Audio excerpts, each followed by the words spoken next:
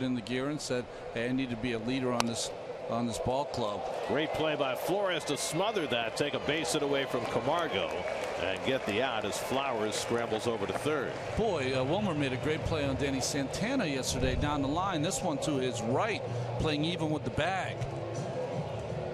And a beautiful play to get over there. Good at bat also by Camargo.